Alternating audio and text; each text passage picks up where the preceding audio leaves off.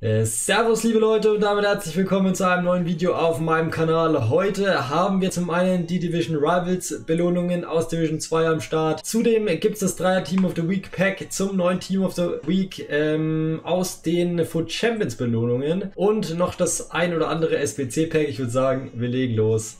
Let's go. Ja, und wir starten heute rein mit den SBCs, die neu am Start sind. Das ist zum einen Philipp Kostic, die man ungefähr für 30.000 Coins machen kann. Ähm, wer die machen möchte, ähm, für ein Bundesliga-Team sicherlich ganz okay die Karte. Ich persönlich, für mich ist sie jetzt nichts. Also ich werde die Karte nicht abschließen, genauso wie den Bernardo Silva, den wir jetzt schon länger haben. Politano, das sind alles so Karten, die ich nicht brauche. Von daher werde ich die auch nicht abschließen, weil wir immerhin noch in Road to Glory sind und ich muss auf meine Coins achten und will dieses Jahr auf jeden Fall so viele Coins wie möglich äh, flüssig haben, also nicht in Untrades, nicht in irgendwelchen SBC-Karten. Ich mache wirklich nur die SBC-Karten dieses Jahr, die ich auch wirklich haben will in mein Team, die ich auch wirklich oft und regelmäßig spiele, wie zum Beispiel Fekir, der jetzt äh, schon lange in meinem Hauptteam ist. Ähm, die SBC, die wir heute aber machen wollen, ist die Last Minute Siegtor SBC. Dort kriegen wir nämlich ein seltene Goldpack ein 25k Pack und ja, was wir hier brauchen, sind maximal 5 Spieler aus einer Liga, äh, maximal 4 aus demselben Verein, mindestens eine Goldkarte, äh, mindestens 10 seltene Spieler, 70er Teambewertung und 90 Chemie. Ihr seht, ich habe hier ein fast komplettes Japan-Team gebaut. Hatte einige Spieler schon im Verein, einige seltene, äh, die musste ich dann nicht kaufen und musste eigentlich dann nur die Silberspieler kaufen. Der hier hat 300 Coins gekostet, Kagawa 450 Coins, der hier 400 Coins. Die äh, goldenen seltenen habe ich für 800 gekauft. Der hier kostet 700, hatte ich aber schon im Verein, musste ich dann äh, abstoßen, weil ich ihn doppelt hatte. Und dann habe ich hier einfach noch einen Link für unseren Japaner reingepackt aus der portugiesischen Liga. Und ja, damit haut das hin auf 90 Chemie. Ihr müsst natürlich schauen, weil hier habe ich natürlich jetzt ein paar Spieler mit Loyalität verwendet, genau zu sagen 1, 2, 3, 4, 5. Also wenn ihr das 1 zu 1 so nachbaut, wird es bei euch nicht funktionieren. Ihr müsst dann wahrscheinlich die äh, Flügelspieler umwandeln zu ähm, RS und LS und hier einen Innenverteidiger hinstellen, damit es bei euch funktioniert. Also nicht diesen LV kaufen, einfach dann einen seltenen Innenverteidiger kaufen, der nicht in der japanischen Liga spielt. Ganz, ganz wichtig. Oder einfach einen seltenen Torhüter und dann hier einen Non-Rare Japaner aus irgendeiner anderen Liga. Oder, oder ihr nehmt einfach irgendeine andere Nation. Wie gesagt, gibt viele Nationen, die ihr da verwenden könnt. Schottland, was weiß ich, England, Frankreich. Am besten nicht die, die Top-Nationen, nehmt irgendwie, was weiß ich, Holland oder Belgien. Dann sollte das auf jeden Fall hinhauen. So, wir schicken das ab. Lang genug gelabert, so schwer ist die SBC jetzt auch nicht. Wir nehmen die mit, äh, 25k Pack, tauschbar sogar. Also sehr, sehr geil. Und jetzt würde ich sagen, gehen wir erstmal ins Team of the Week Pack. So, wir gehen rein in das Team of the Week Pack, Premium Team of the Week 3, Team of the Week Spieler aus dem aktuellen Team der Woche. Ich kann euch das Team of the Week auch nochmal ganz kurz zeigen, äh, wenn wir das hier schon sehen. Ähm, ist auf jeden Fall ein geileres Team der Woche als letztes Mal.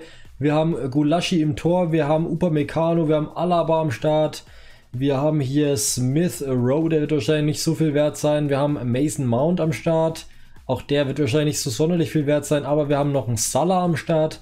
Also auf jeden Fall ein paar Karten, die zumindest ein bisschen was wert sind, nicht so wie letzte Woche, wo ja eigentlich gar keiner wirklich was wert war. Von daher würde ich sagen, äh, wir drücken die Daumen, dass heute was Geiles am Start ist. Unser erster geiler Team of the Week Spieler vielleicht. Let's go. Wir machen das Ding einfach auf. Komm, ein Salah wäre doch mal geil. Bitte gönn, bitte gönn. Das wird Tadic. 85, nee, 86. Gut, ähm, ja, da wird auf jeden Fall äh, Futter sein für SBCs in Zukunft. Also nicht so sonderlich viel wert sein. Aber Alaba könnte noch dahinter sein. Upamecano könnte auch noch dahinter sein. Schauen wir mal. Ähm, Upamecano wäre geil. Bitte, bitte, bitte.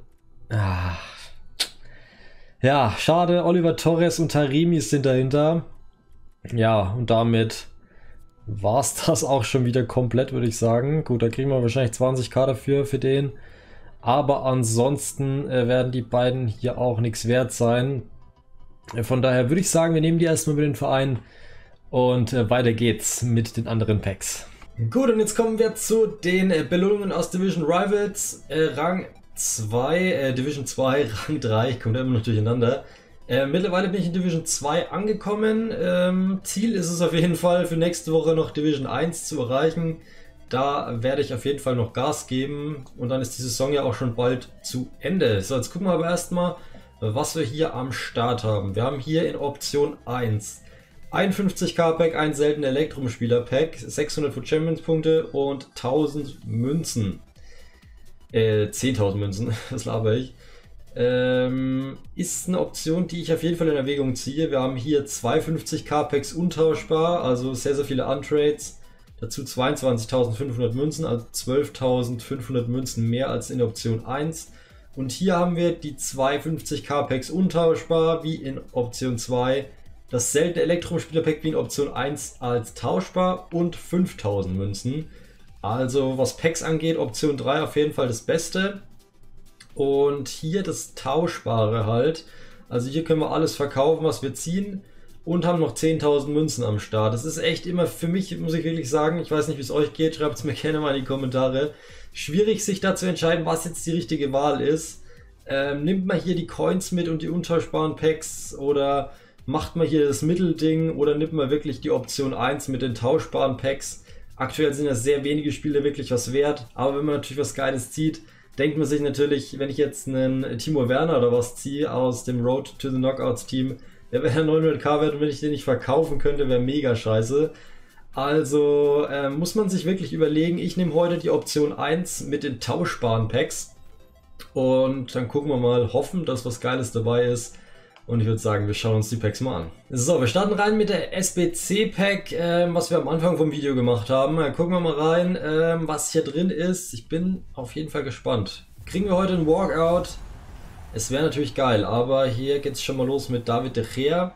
84er Rating ist jetzt nicht das Beste. Was haben wir dahinter vielleicht noch? Irgendwas Geiles? Nö. Also Trikots stoße ich immer ab, weil die bringen 480 Coins. Also solltet ihr auf jeden Fall auch machen, falls ihr die nicht verwendet, diese Planen oder was weiß ich. Braucht eigentlich kein Mensch, bringen aber 500 Coins knapp. Also auf jeden Fall ähm, die definitiv abstoßen, falls ihr die nicht verwenden wollt. Äh, ich nehme dann immer einfach nur die Duplikate, also beziehungsweise die Untradables und verwende die fürs Stadion und die anderen stoße ich dann einfach ab. So, nächstes Pack, seltene Elektrum Spieler Pack, let's go. Wir gucken mal, ob wir hier einen Walkout am Start haben. Nö, nicht mal ein Bordspieler. Ähm, es wird Paulista. 82er, okay, da wird jetzt auch nichts dahinter sein, was hier irgendwie uns die 20k wieder zurückbringt. Äh, die 12k, die wir für Option 2 gehabt hätten. Ja, das ist Trash gewesen, das Pack, würde ich sagen. Damit kommen wir auch schon zum letzten Pack fürs heutige Video, dem 50k Pack. Mal gucken, ob das gönnt. Ich hoffe es natürlich. Vielleicht endlich mal ein brauchbarer Tradable-Spieler wäre sehr, sehr geil. Komm schon, gönn doch mal was. Nee, es wird wieder kein Walkout. Es wird erneut, wie gerade eben schon, im seltenen äh, Goldpack. Es wird wieder Carlos Vela. Ja, was soll man dazu sagen? Äh, immerhin in Form am Start. Äh, aber ansonsten eigentlich ein komplettes Abstoßpack. Den Inform werde ich auch abstoßen. Den Rest äh, würde ich sagen, ähm, also die packen wir in Verein. Die anderen können wir eigentlich auch alle abstoßen. Bis auf vielleicht den 83er würde ich mir mal aufheben. Oder vielleicht auch Chill, weil der könnte auch was wert sein. Aber ansonsten ähm, würde ich sagen, ja, soll es das für heute gewesen sein? Lasst gerne Daumen nach oben da, wenn euch das Video gefallen hat. Schreibt mir in die Kommentare, was habt ihr gezogen in euren Belohnungen. Und dann würde ich sagen, sehen wir uns hoffentlich im nächsten Video wieder. Macht's gut, bis dahin, euer Jules. Haut rein.